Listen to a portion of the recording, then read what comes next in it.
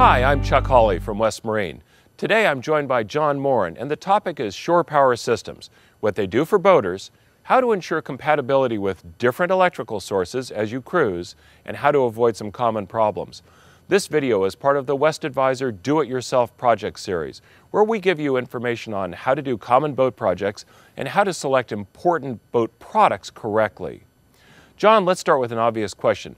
What's a shore power system and why are they useful to boaters? Virtually all boats will have DC electrical system on board so that owners can start their engine or engines, operate interior lights, pump their bilges, and operate marine electronics. The boat's DC system either operates on 12 volt or possibly 24 volt from energy stored in the boat's batteries and replenished by the boat's charging system. A shore power system is different in that it allows you to bring AC electricity on board from a source on the dock. You literally plug your boat into the local utility and enjoy all of the advantages on board that you'd enjoy in your home or business. So a shore power system replaces having a generator or inverter on board? One way to think about it is that while they may share some of the same wiring in the vessel, a shore power system is an external source of electrical power and an inverter or generator is internal. Thanks, John. So a shore power system allows you to run all sorts of useful appliances and tools on board when you're in a marina. One of the most common items is a battery charger to keep your batteries topped off when you're not on board. Other items include dehumidifiers, heaters, kitchen appliances, power tools, and entertainment products, like TVs and stereos. John, let's start at the source and work our way to the vessel. So this is a common shore power pedestal. In this case, this is providing 30 amp service to two different slips, so it has two 30 amp outlets. A connector here, or an outlet here, 30 amp breakers here, which in this case are both in the off position, and this other little breaker is just for the night light so that you can walk on the docks. So we take one of the shore power connectors, and it's got a polarized plug, it only fits in one way. We can put it in place and twist it. Now you don't need a sealing ring in this case because when you close down the lid, this becomes a waterproof or at least a water shedding enclosure. So you don't actually use the sealing ring on the shore power outlet. It's vital that you use plugs and receptacles that are intended to be used together, or you could create big problems. Never use a cord that has the prong removed or altered, and never force a plug to fit. The plug should fit easily and stay in place after twisting. So this is a situation you find all the time. Somebody's kind of made up their own cord. Sometimes this is because the cords become damaged and they've replaced just the end, in this case the plug, or maybe they've uh, bought bulk length of uh, 10-3 cable, 10 gauge 3 conductor cable, and they put together their own one. But this, what, this really isn't a marine fitting, and what you'll notice is that the terminals are corroded and they're actually slightly bent. Now they're they're designed to carry 30 amps of current, but it's not designed for the marine environment. So you get high resistance here, and the other thing is you don't have any waterproofness, so water can run down the back side of the cord set, go inside the plug, and then you that gives you problems over time. Larger boats consume more power, and there are two ways of supplying this power.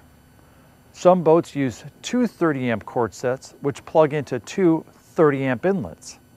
Sometimes one inlet is used specifically by air conditioning, while the other supplies other circuits on the boat. So if a single 30 amp cord isn't enough to satisfy the amount of current that you want to draw on board, you can put two 30 amp cords together. In this case, this is a Catalina 42, and what they've done is they've actually, this isn't a second 30 amp connector. Here's the normal shore power connector, again with the sealing ring on it. This case, this is designed for cable TV, and telephone. So it's actually a completely different purpose. But it could have been designed for um, just a second shore power inlet. And incidentally, this uses Marinco's very fast opening arrangement. You turn it about an eighth of a turn and it locks very quickly. It also is compatible with the ring. So you, if you have somebody else's cord that has a spin-on ring or if you have an older Marinco cord, you can screw it on.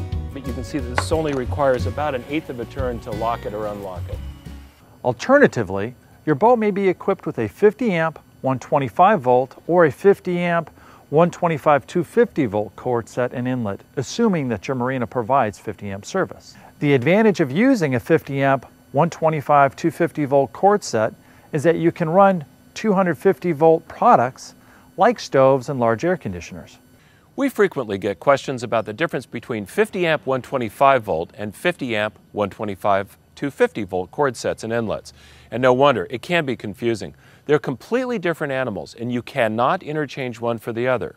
The 50 amp 125 plug and connector have three blades, one of which has a bend in it, and should be clearly marked with the designation 50 amp 125 volt. The 50 amp 125 volt 250 volt plugs and connectors have three blades, two of which have a bend in them, and a fourth connection around the perimeter of the plug.